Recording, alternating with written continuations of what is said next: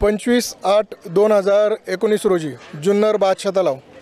येथे निकत शेख या महिलेचा सकाळी साडेसहाच्या दरम्यान लोखंडी शीग डोक्यात मारून खून करण्यात आला.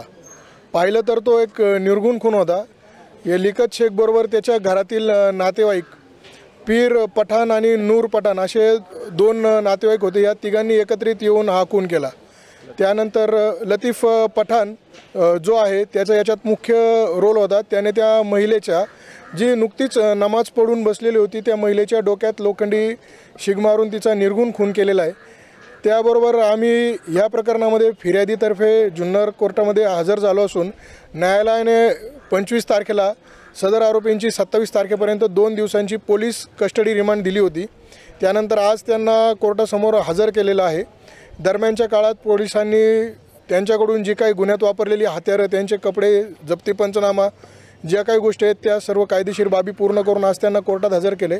आज कोर्टात हजर केल्यानंतर कोर्टाने त्यांची मॅजिस्टेरियल कस्टडी रिमांडमध्ये पाठवणी केली आहे. म्हणजेच त्यांचा येरवडा जेलला त्याला आज कोर्टाने पाठवलेला आहे.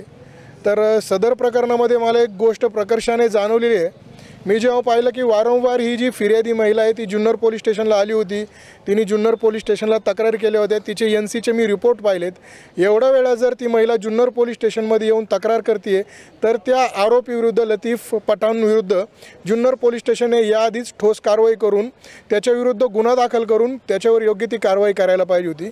याआधी त्याला जर योग्य ती शिक्षा भेटली असती तर हा प्रकार घडेल असं मला घडला नसता किंवा त्याने त्याच्यातून आधी काहीतरी सबक घेऊन तो शांत राहिला असता त्याला काहीतरी शिक्षा मिळाली असती.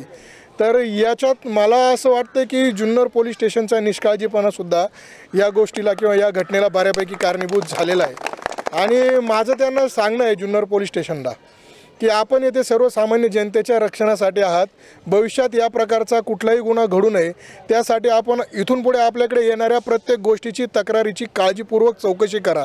फक्त जिथे मलई आहे तिथेच न जाता सर्वसामान्य गोरगरीब जनतेच्या प्रत्येक अडचणीत उभे राहा. धन्यवाद. आमचे नवनवीन व्हिडिओ पाहण्यासाठी आयवन न्यूज चॅनल सबस्क्राईब करा आणि बेल आयकॉनवर क्लिक करा.